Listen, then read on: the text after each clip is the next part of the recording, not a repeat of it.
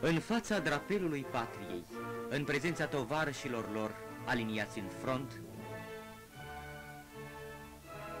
în prezența comandanților, tinerii ostași au trăit cu emoție momentele solemne ale depunerii jurământului militar. Eu, cetățean a Republicii Populare Române, intrând în rândurile forțelor armate, jur să fiu devotat poporului muncitor, patriei mele și guvernului Republicii Populare Române. Fii vretnic de încrederea țării.